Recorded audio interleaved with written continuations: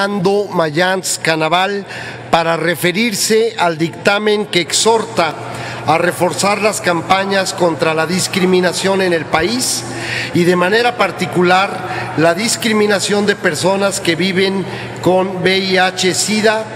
En uso de la tribuna, el senador Fernando Mayans Canaval. Gracias, presidente. Con su permiso, presidente, con la venia a la sala, al pueblo de México, compañeras y compañeros senadores. Una de las reformas constitucionales más trascendentes para la convivencia social y los derechos humanos es aquella que introdujo en el año 2001 la prohibición de toda discriminación motivada por origen étnico o nacional, el género, la edad, las discapacidades, la condición social, las preferencias sexuales y las condiciones de salud, entre otras.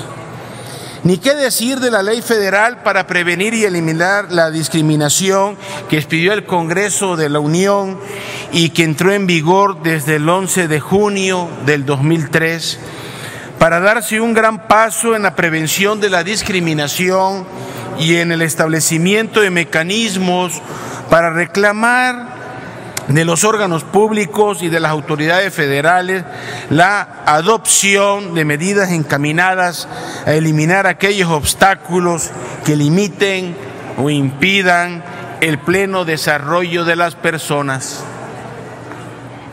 Bajo ese principio de la no discriminación, se sustenta el objetivo de este dictamen que acertadamente señala que las personas o pacientes enfermos de VIH-Sida no solo se enfrentan a problemas de salud y de tratamiento, sino que hoy en día su mayor reto es el enfrentarse al estigma y a la discriminación relacionados con su estado serológico, lo que provoca mayor desigualdad social.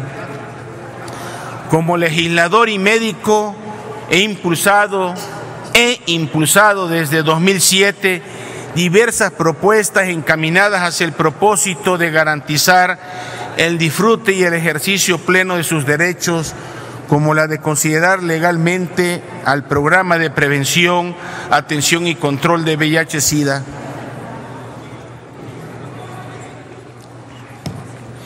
Como materia de salubridad general, así como la de elevar a rango de ley dicho programa para hacer obligatoria su operación y cumplimiento por parte de las autoridades sanitarias.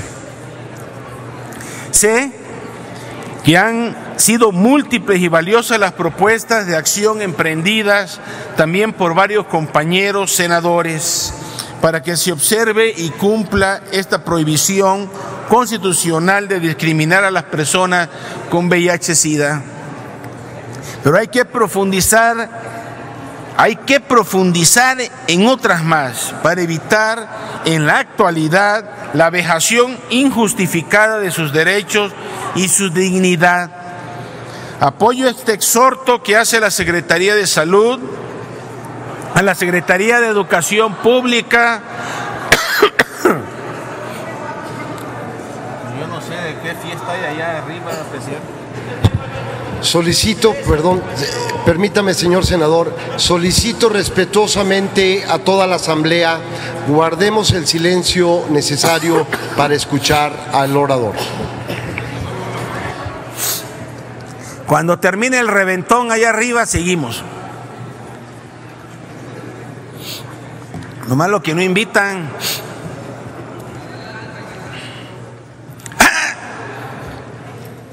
Seguimos adelante.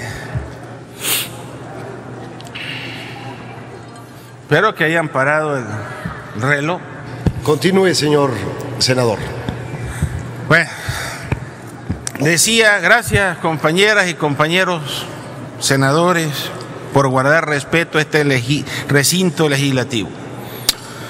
Como legislador y médico, He impulsado, decía, desde el año 2007 diversas propuestas encaminadas hacia el propósito de garantizar el disfrute y ejercicio pleno de sus derechos. como la de considerar legalmente el programa de prevención, atención y control del VIH-Sida como materia de salubridad general, así como la de elevar a rango de ley dicho programa para hacer obligatoria su operación y cumplimiento por parte de las autoridades sanitarias.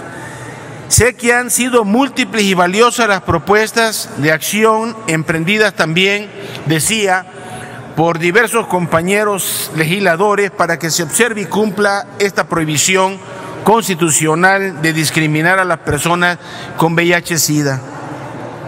Pero hay que profundizar en otras más para evitar en la actualidad la vejación injustificada de sus derechos y su dignidad. Apoyo este exhorto que se hace a la Secretaría de Salud, a la Secretaría de Educación Pública y al Consejo Nacional para prevenir la discriminación para reforzar las campañas contra la discriminación en el país y de manera particular la discriminación de personas que viven con VIH-Sida, con el objeto de garantizarle el pleno ejercicio de sus derechos humanos.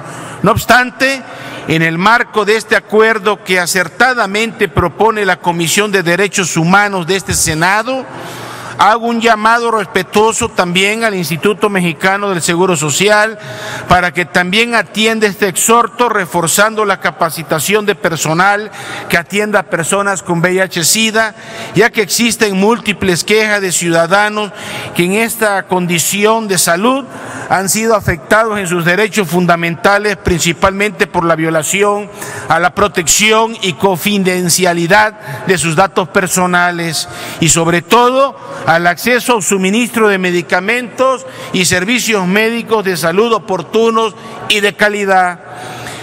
Ya lo ha dado a conocer la Comisión Nacional de los Derechos Humanos por conducto de su programa especial de VIH, al señalar que recientemente que han detectado que las violaciones más frecuentes a los derechos humanos de las personas con VIH o SIDA desde el 2010 son omitir suministrar medicamentos con 35.7% de las quejas de 144, omitir proporcionar atención médica en un 26.8% de las quejas.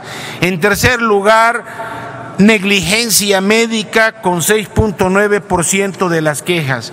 Desde el año 1992 a la fecha, la Comisión Nacional de los Derechos Humanos ha registrado más de 1.600 hechos relacionados con violaciones a los derechos humanos de las personas que tienen y viven con VIH-Sida. Compañeras y compañeros senadores, porque no hay razón ni motivo que justifique la violación de sus derechos, la estigmatización y discriminación de quienes padecen esta enfermedad, mi apoyo y mi voto a favor de este exhorto. Todos estamos obligados a escuchar el llamado de la CNDH para atender la pandemia de VIH-Sida con enfoque de derecho humano y erradicar la discriminación a este sector poblacional por su atención. Muchas gracias. Es cuanto, señor presidente. Gracias, senador Fernando Mayans Canaval.